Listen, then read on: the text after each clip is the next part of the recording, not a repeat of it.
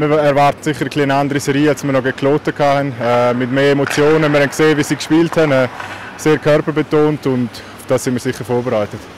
Kann man sich jetzt so umstellen von einer Serie auf die andere? Die Emotionen sind ein bisschen draussen bei Kloten und jetzt wird es genau anders laufen gegen Bern, oder? Ja, es wird sicher eine kleine Challenge sein, um das, äh, um das so umzustellen.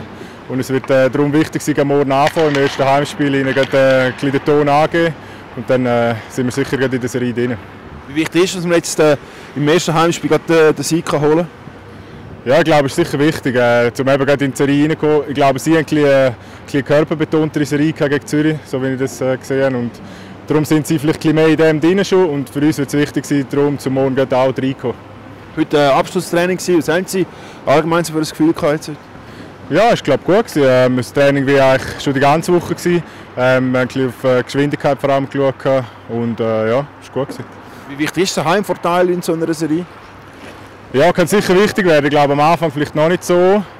Ähm, aber dann nachher so Spiel 5, 6, 7 wird sicher, äh, kann sicher den Unterschied ausmachen. Ich denke, es geht über mehrere Spiele, also ist nicht wieder nach vier Schluss.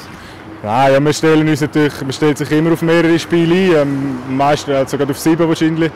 Ähm, so ist man sicher bereit, falls es dann zum Spiel 7 kommt. Ja. Okay, gut Spiel, danke Merci. Danke.